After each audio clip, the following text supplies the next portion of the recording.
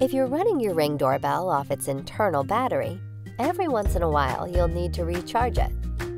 It's important to make sure you charge your Ring doorbell before the battery dies completely, since if this happens, you may need to go through the setup process again.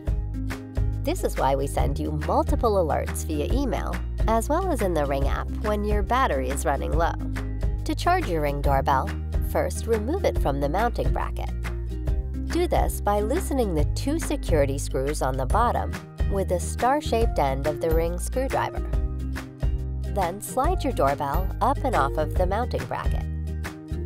Using the orange cable that came with your Ring doorbell, or any other micro USB cable you have handy, plug one end into the charging port on the back of your Ring doorbell and the other into a power source. We recommend using a 2.1 amp wall charger since this will charge your Ring doorbell the fastest, generally within 4 to 5 hours. If you don't have a wall charger, you can charge your Ring doorbell by connecting it to your computer's USB port. But note that this will take longer, up to 12 hours.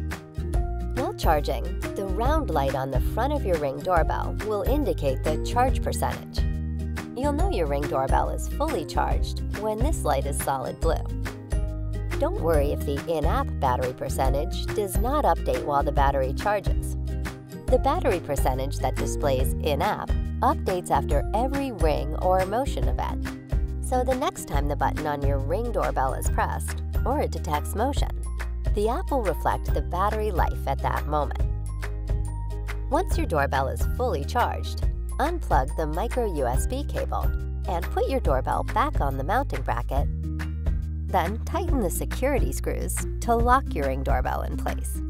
If you find your battery is draining more often than you'd like, you may want to experiment with your motion settings, since motion detection tends to have a big impact on battery life.